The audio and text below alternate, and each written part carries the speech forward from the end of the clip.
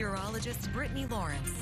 All right, welcome back to KSAN News. Today was another warm and above average day, and we're going to expect to see some more like it with the weather headlines. Above average temperatures in the forecast, but a cold front will come to cool us down. We're not going to see the effects of it until the end of the week, though, so we'll have to wait for that. We'll get a little windy, though. Turns cooler by the end of the week, and then we bounce back into the 70s, so we won't stay into the 60s too much long as we go through Thursday and Friday behind that cold front. Current conditions look like this. Windy for 14 miles per hour out of the south.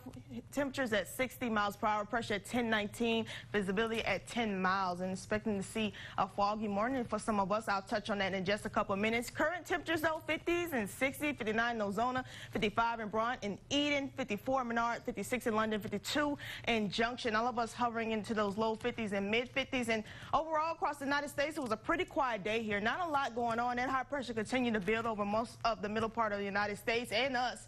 And ridging throughout much of it. You can see what a nice weather was, like I showed you before. And what is building off to our west? Our next cold front system that's going to bring us some cooler temperatures and start to see us to see a little change in the atmosphere here. But we're expecting dry conditions to get a little cloud cover Tuesday, Wednesday evening when that cold front comes through. We're going to see things kind of cool out for us. We'll, we'll lose those clouds and become clear and see some temperatures dropping as well. Before we get to Sunday, we could see temperatures rise back into the 70s. Now, as I mentioned before, could see some early morning fog for your morning commute for your Monday. Just take extra heed and caution when you head out or if you're going to take your kids to school, mainly around most of the Interstate 10 boundary. Most of us won't even get any effects from it. Going into your Monday forecast, this is how temperatures look. We'll see 40, so it's going to be chilly when you put your kids on a bus. Then we'll slowly taper out to 57 around 9, and then 65 as we go into the 11 a.m. hour again. Then we totally slide back climb back, excuse me, back into the 70s. And if you're walking outdoor tomorrow, it's going to be a nice day, plenty of sunshine eventually.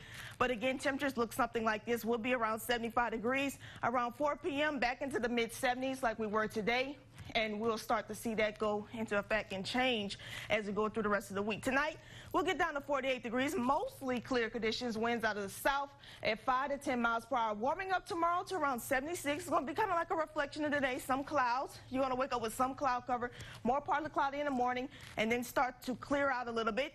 Winds will be a little more gusty out of the south between 5 and 10 or 15 miles per hour, depending on the region we are. And then your next five days here across the Concho Valley is looking beautiful. We do have a slight chance to see some showers, but this cold front is going to be a fairly dry one. And we could reach low 80s by Wednesday. That's, that's going to put us well above average for this time of year. Cool off by Thursday, Friday, and Saturday, and then get back into those 70s. And we could also see some cooler weather and cooler morning lows on Friday as well. We'll have more KSAN news. Stay where you are.